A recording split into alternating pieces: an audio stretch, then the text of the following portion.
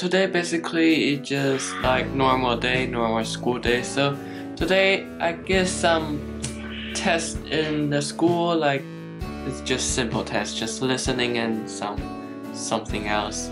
And basically this week is assessments week, so it's like midterm week more likely. So we got test tomorrow for grammar. Grammar is not that hard, just need to remember some vocabulary. And next week I got a speaking test. Yeah, I got speaking test.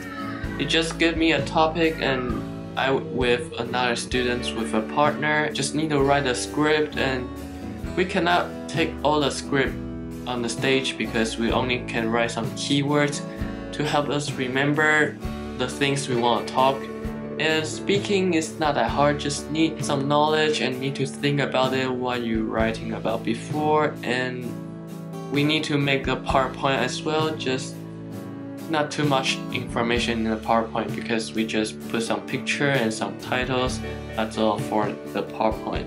So it's not that hard, just need to speak like, so each people is more like 2 minutes and uh, 30 seconds more likely, so I can control to 6 minutes very evenly so not a big deal. Just need to relax when we are get on the stage to talk about our topic. So I choose social media for this topic because some of the topic is just not that good to it's not that much information to talk about so it's not that easy to talk on the stage. It's not that easy to talk on the stage with the other topic. So I choose this topic because it's more information and I can find something else to talk about very easily. So today basically we got 4 period to prepare our speaking but tomorrow we got more time to prepare and the speaking test is on next Monday so tomorrow is grammar test but